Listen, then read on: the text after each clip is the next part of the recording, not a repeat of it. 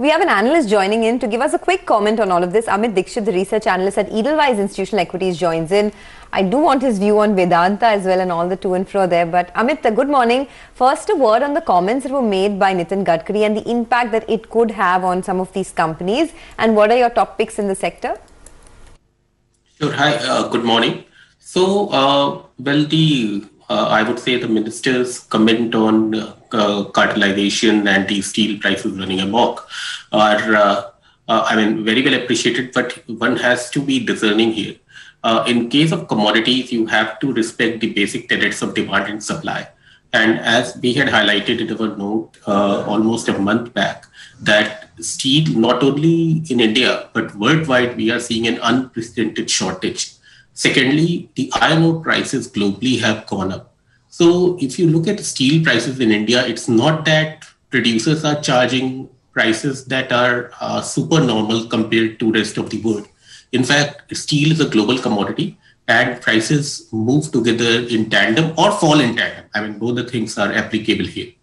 So uh, clearly, the steel prices are not in sync, are, are not out of sync with the uh, global prices. That is point number one. Point number two here is one has to consider the uh, shortage of steel globally. So it's not that Indian producers are not supplying steel in domestic market. In fact, all of them, if you look at Q3 numbers vis-a-vis Q2, vis-a-vis Q1, the supply to the domestic market has only gone up. The export component has gone significantly down.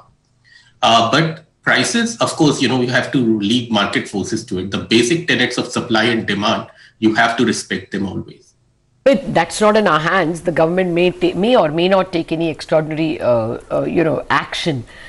At the moment, what are you expecting as an investor or as an advisor to investors? Uh, Tata Steel, SAIL, JSW, and NMDC itself. Are they buys for you, and what red flags are you seeing? Well, for us, uh, I mean, we are uh, we have buy on anything that has got iron ore integration. Hmm. So, SAIL and Tata. Steel clearly are buys. As far as NMDC goes, well, the stock couldn't have been in a in, in a more purple patch than this, but because of the uncertainties uh, surrounding the uh, surrounding the royalty, surrounding the Doni Malai resumption. Uh, well, we have a hold on the stock. Okay. Uh, so these are as far as stock recommendations go. As far as the advice to investors, well, we clearly see that mm. Q1 CY21 or Q4 uh, CY FY21 as you call it is a literally a free run for uh, steel prices. Uh, and I spoke on a channel, I think one month back when I said that, you know, Q3 is going to be a blockbuster and Q4 is going to be a dream run. So this is very true.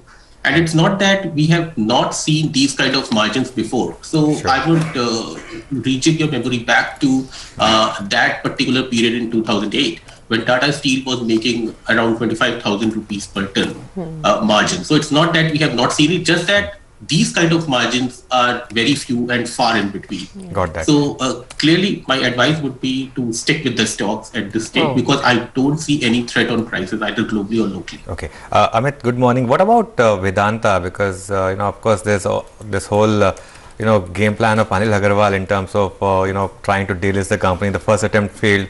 Now, of course, there's an open offer, of, of course, for much smaller stake. But what would be your advice here? No, so in case of Vedanta, well, we like the business definitely. If you are uh, if you are playing commodity upcycle, you definitely can't ignore Vedanta, which has got the highest share in base metals worldwide. At the same time, what we find that voluntary open offer price uh, is uh, unattractive for the minority shareholders, and we have put out a note regarding that. Uh, so uh, definitely at this point in time, uh, we don't see a significant upside on Vedanta, although it remains a pretty good dividend play. So, uh, in fact, uh, day before yesterday, we downgraded to hold because it has achieved our target price number one. And number two, we uh, we expect the stock performance to be subdued relatively, owing to the uh, to the promoters' endeavors to increase their stake and probably at an unattractive price. Okay, all right. Uh, we that caution is uh, well taken on board. Thanks a lot for joining us, Amit. Have a great day. That's the word coming in from Edelweiss on all things in the metal space. But let's get back to our conversation on other things. Dipan Mehta has been waiting.